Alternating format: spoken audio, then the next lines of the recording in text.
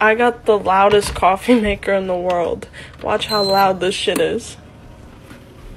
Did you feed your grandma Play-Doh?